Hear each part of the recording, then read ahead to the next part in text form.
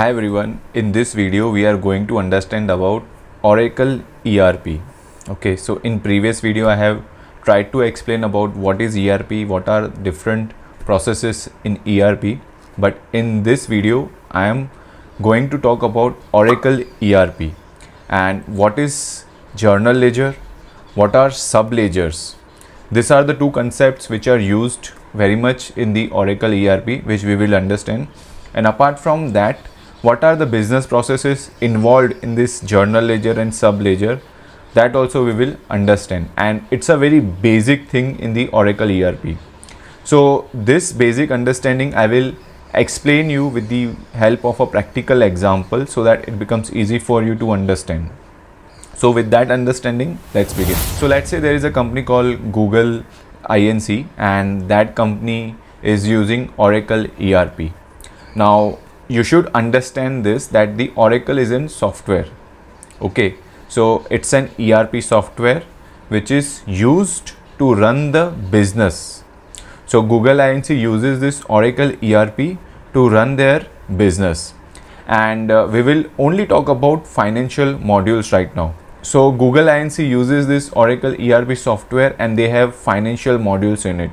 Now what are these financial modules? Financial modules are journal ledger, payables, receivables, fixed assets, purchasing, etc. Though purchasing is not a part of uh, finance but I have included it so that we can cover at least procure to pay cycle.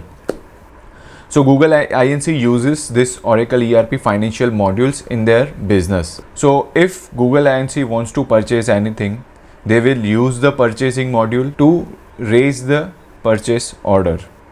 Okay, they will send this purchase order to the supplier and then supplier will send them the goods which they will do the receiving. And after that in payables module they will create an invoice. So now you understood that what is the use of purchasing module what is the use of payables module. So in purchasing module we are creating a purchase order in payables module we are creating an invoice. So that's the use of it. Then there is a fixed assets module. There is a receivables module also. So in fixed assets module all the assets of google inc will be captured. So that module will track each and every asset of google inc so that's the use of fixed assets module. Same way there is a receivables module in which Google Inc creates its customer and raises the invoices on the customers for the services which Google provides. So that's the use of receivables modules. Now whatever the transactions are done in this modules are captured in the respective module. So for example, purchase order is created in purchasing module. So there will be a purchase order transaction. Same way payables module will be used for recording the supplier invoices and this will be the invoice transaction. Same way if we are purchasing any fixed asset that fixed assets will be captured in fixed assets module. Okay.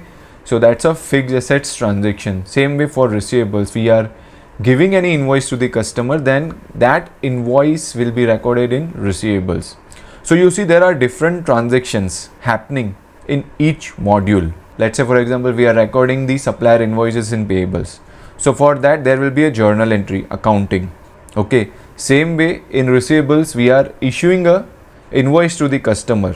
So there will be an accounting entry for that as well. So this transactions accounting entry is created in this modules and those accounting entries are transferred to journal ledger. Okay so this understanding must be there.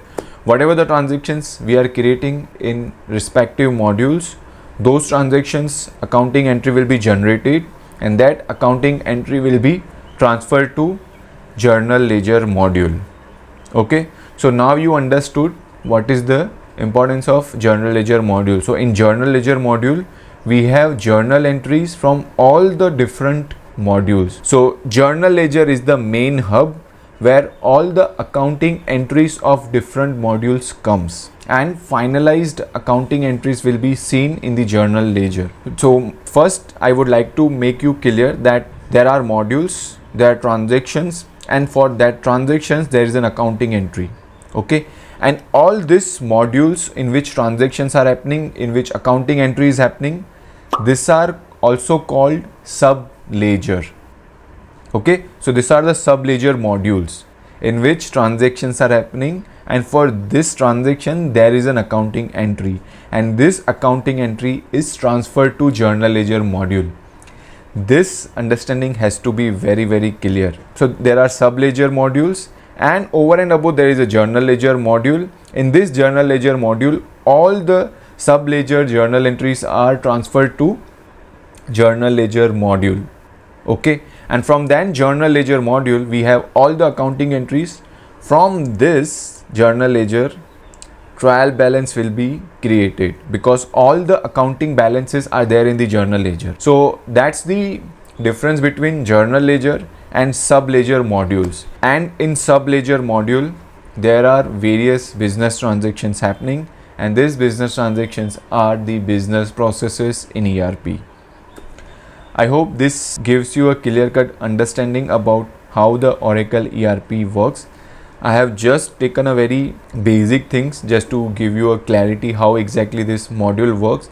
There are lots of things apart from whatever I have explained in this but I am trying to create a base of uh, understanding so that you can build your further understanding over it. So that's all about journal ledger, sub ledger and uh, I can say now you got the understanding what is the Oracle financial overview. Okay how they are interlinked like journal ledger and sub ledgers. If you have any questions with respect to this video, please ask in the comment section or if you have any comment also you can definitely give your comments. We would love to hear your comments. Thank you so much for your time and take